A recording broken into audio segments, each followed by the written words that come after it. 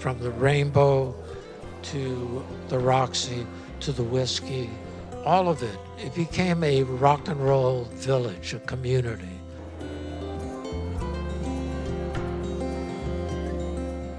But a few weeks later, his team called me and said, hey, we're celebrating the 50th anniversary of the Roxy. Uh, would you be interested in doing an exhibit? And I thought, absolutely, let's do it.